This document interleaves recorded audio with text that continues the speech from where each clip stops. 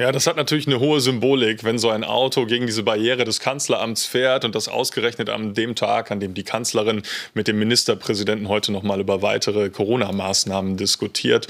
Allerdings muss man sagen, so schnell kann dieses Auto nicht gewesen sein. Es ist eigentlich überhaupt nicht beschädigt. Es sind nur ein paar Kratzer vorne ähm, äh, an der Motorhaube und auch ähm, das Tor steht. Da gibt es überhaupt keine Schäden. Das heißt, wahrscheinlich wird es dem Fahrer auch gerade um diese, um diese Symbolik gegangen sein das Auto ist beschmiert, stehen Sätze drauf, irgendwas Globalisierungskritisches.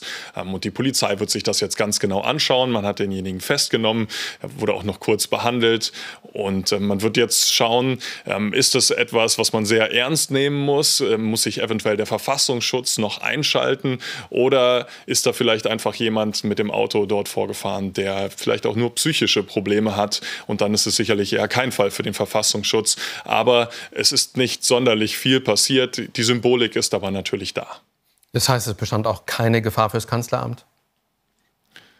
In dem Ausmaß, wie man das jetzt sehen kann, was dort passiert ist an diesem Auto, hat er offensichtlich gar nicht wirklich die Absicht, diese, dieses Tor zu durchbrechen, wenn man das denn überhaupt schaffen kann mit einem Auto. Die sind natürlich so gebaut, dass genau das eigentlich nicht möglich ist. Insofern ähm, scheint er selber dort äh, das gar nicht versucht zu haben.